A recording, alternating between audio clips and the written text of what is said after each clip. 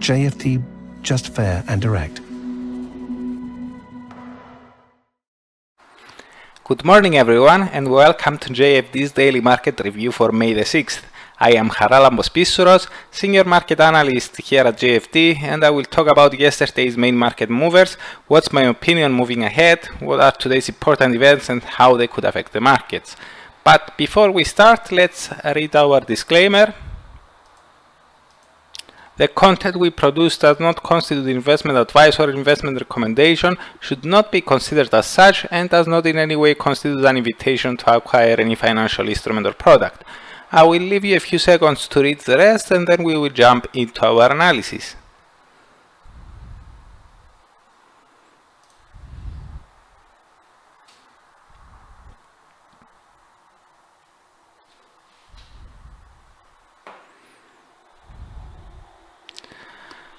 Okay, the dollar traded higher against the majority of the other G10 currencies on Tuesday and during the Asian morning Wednesday. It gained versus the Swiss franc, the euro, the Aussie, the pound and the Kiwi in that order, while it underperformed against the uh, SEK, NOK, JPY and the Canadian dollar.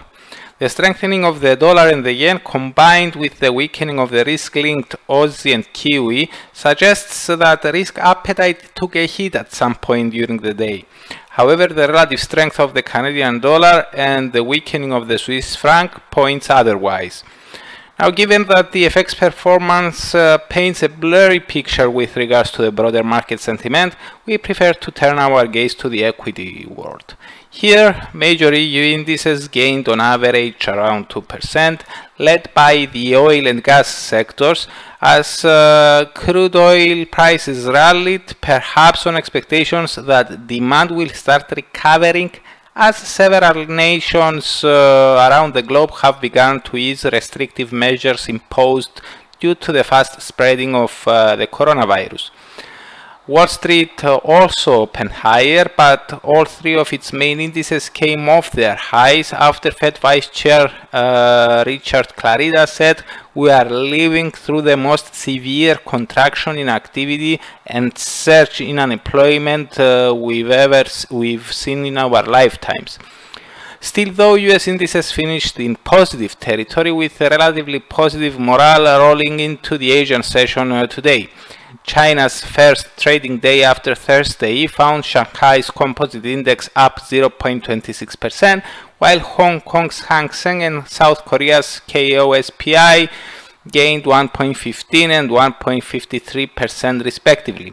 Japanese markets uh, stayed closed due to another holiday. The recovery in uh, the broader market sentiment is in line with our latest view. Remember that since Thursday we've been noting that with unprecedented, unprecedented monetary and fiscal stimulus and the possibility of a vaccine being ready for distribution soon, we are now more trustful with regards to a recovery in uh, risk-linked assets and a potential slide in safe havens. The easing of the lockdown measures seems to be providing additional support, but it also carries a risk. As we noted yesterday, lifting, lifting the restrictions too quickly and too soon may result in the virus start spreading at an exponential pace again, taking us back to square one. Now back to the currencies, uh, the euro was the second loser in line, coming under selling interest after the German Federal Constitutional Court gave the ECB three months to justify purchases under its uh, bond buying program. If the central bank fails to do so, the Bundesbank will withdraw its participation from the scheme, the court said. The Swiss franc also came under selling pressure at the time of the announcement and strangely lost more than the common currency. One possible explanation for that may be a pickup in intervention practices by the Swiss, by the Swiss National Bank. Remember, one of the bank's uh, policies is to prevent the franc from strengthening, and with the euro sliding on the aforementioned news, the bank may have stepped in to prevent its currency from outperforming its eurozone counterpart. Now, as for today, market participants may pay extra attention to the US ADP employment report for April. Expectations are for the private sector to have lost 20 million jobs after losing 27,000 the prior month. With uh, continuing jobless claims hitting 18 million last week, 20 million job losses will not come as a surprise to us. Something like that could increase speculation that the NFP number due out on Friday may also come close to that number. Just for the record, expectations are for the NFPs to have slipped 22 million. Such a historic number of job losses may confirm that the labor market wounds due to the coronavirus spreading have been really deep and may hit equities.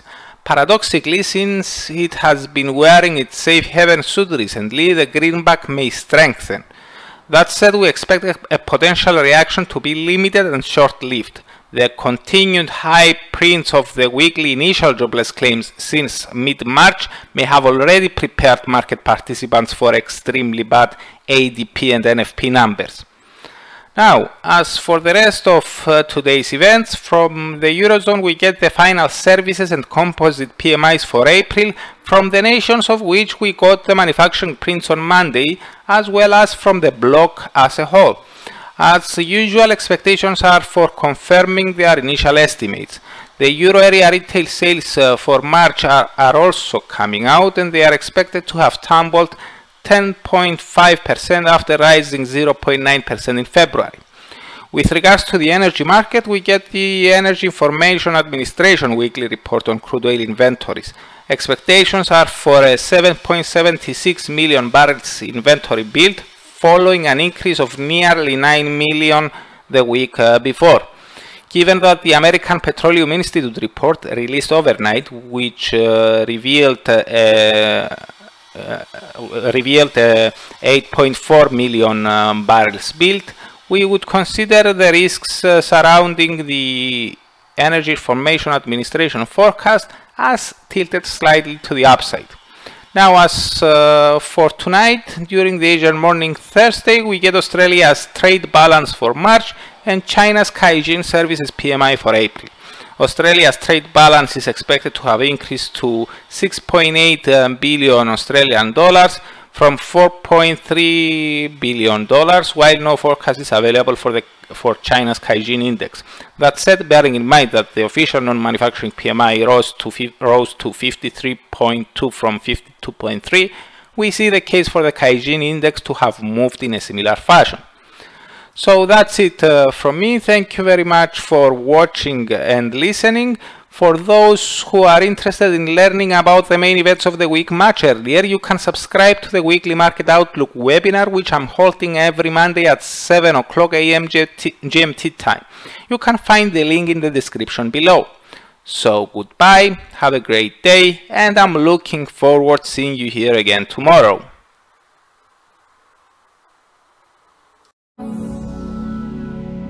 JFD, just fair and direct.